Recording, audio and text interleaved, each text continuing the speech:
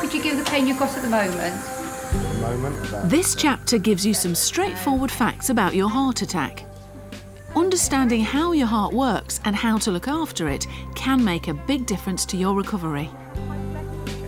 It's the key to everything, and it's the key for people to start taking control themselves as well, because if you have an understanding yourself, it's much different. You take yourself to a whole different level. Heart is a very powerful muscular pump that drives blood around your body. Each day it beats around 100,000 times and pumps about 9,000 litres of blood. To keep your heart healthy, your heart muscle needs to get a good supply of oxygen containing blood from the coronary arteries. At birth, your arteries are wide open, but over the years, fatty deposits or plaque build up in their walls and they can cause narrowing. This process is called atherosclerosis, and the fatty material is called atheroma. For many people, it happens without causing any harm, but for others, over time, the artery becomes so narrowed it can't deliver enough oxygen containing blood to the heart muscle. And this is known as coronary heart disease. If you have coronary heart disease, you may experience the pain or discomfort of angina. Angina usually occurs with exertion when the narrowed coronary arteries can't deliver enough oxygen rich blood to the heart muscle, but it can also happen when you're resting.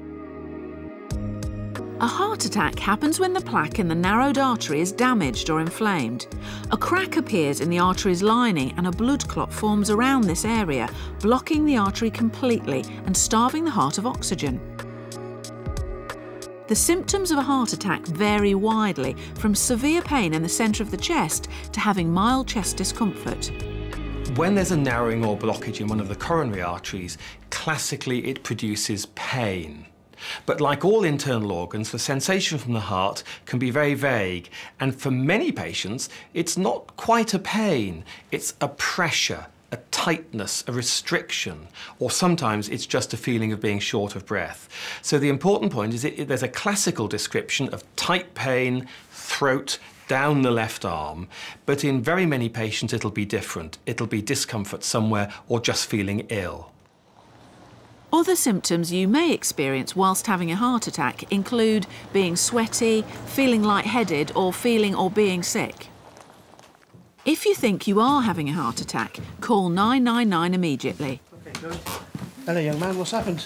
During a heart attack, there may also be serious disturbances in the heart rhythm, which could be life threatening and means there's a risk of cardiac arrest. This is when the heart stops pumping and resuscitation is needed straight away. Okay, what's the defib say? Analysing. A cardiac arrest requires immediate emergency treatment, and sometimes an electrical shock is used.